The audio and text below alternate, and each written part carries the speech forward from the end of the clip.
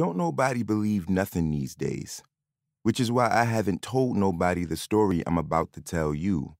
And truth is, you probably ain't gonna believe it either. Gonna think I'm lying or I'm losing it, but I'm telling you, this story is true.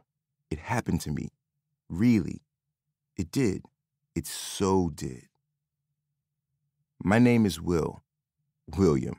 William Holloman. But to my friends and people who know me, know me, just Will.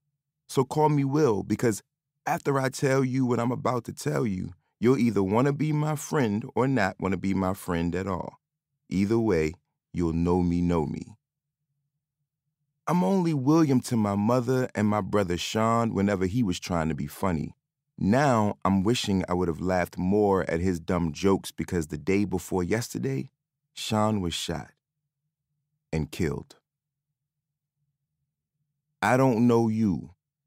Don't know your last name if you got brothers or sisters or mothers or fathers or cousins that be like brothers and sisters or aunties or uncles that be like mothers and fathers.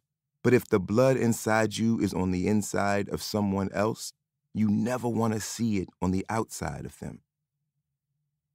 The sadness is just so hard to explain. Imagine waking up and someone, a stranger, got you strapped down, got pliers shoved into your mouth, gripping a tooth somewhere in the back, one of the big important ones, and rips it out. Imagine the knocking in your head, the pressure pushing through your ears, the blood pooling. But the worst part, the absolute worst part is the constant slipping of your tongue into the new empty space where you know a tooth supposed to be, but ain't no more. It's so hard to say Shawn's dead. Shawn's dead. Shawn's dead. So strange to say, so sad, but I guess not surprising, which I guess is even stranger and even sadder.